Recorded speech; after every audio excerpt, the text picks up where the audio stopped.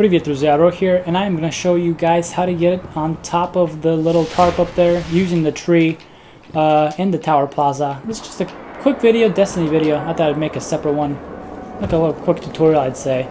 But uh, there's a bunch of us here. I don't know any of these people. I was playing, I did a live stream, four-hour live stream actually. Uh, be sure to check it out if you guys want to see everything like me playing it first time. But here, here's this tree, and what we're going to do is going to get up there. You can't just normally get up there by jumping or you can't even get on through here. But so we're gonna, what we're going to do is going to go sideways over here. I'm going to show you guys what the best way to get up there is going to be if I can do this correctly again. Let's see. But to find out. Just jump, jump.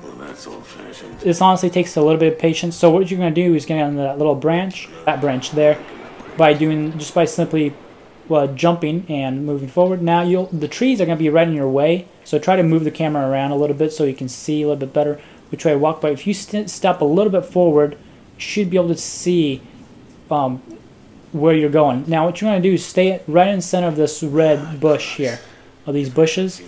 As you can see here, just stand right in the middle of it and keep walking forward. It's basically as close as you can, but not too far because then you'll fall. So I'm going to be right here and I'm going to walk forward or run forward and jump. And you want to aim for right through that pillar right there. And as you can see, I just got up here, no problem. And we are basically done that's it. Thank you guys for watching. Catch you guys uh, next Destiny video.